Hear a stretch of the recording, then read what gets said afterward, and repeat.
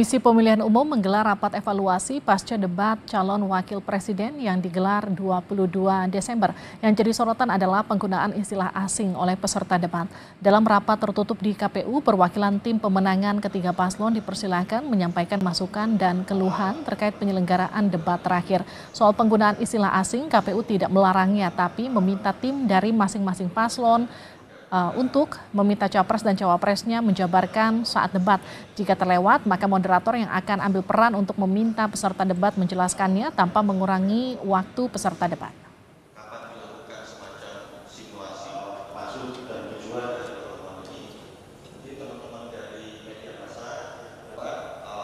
Jadi antisipasinya gini, dua hal kan layernya.